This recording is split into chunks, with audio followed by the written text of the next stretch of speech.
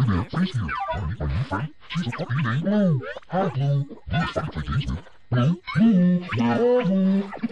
there you are. Looks like Blue wants to play, so get ready for Blue's Clues. Next, right here on Nick Jr.